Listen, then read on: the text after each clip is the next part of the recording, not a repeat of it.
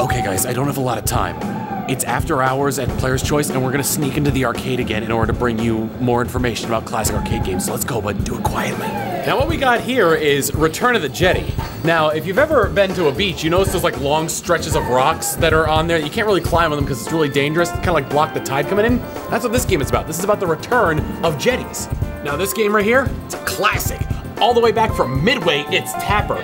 This is a precursor to mobile games where you tap the screen to, you tap the, you're supposed to be able to tap the screen to play. It's not, okay, I think I got it. And then it's up. Okay, I think I got it. Tapper. You tap it. All right, I think I'm ready to cover this one. This one right here is, I'm too scared, I can't do it. Oh man, if you've never played this one, pole position, it's a treat. You play as a stripper, driving to work as fast as you can to get your prime position, pole position as it were, on the poles.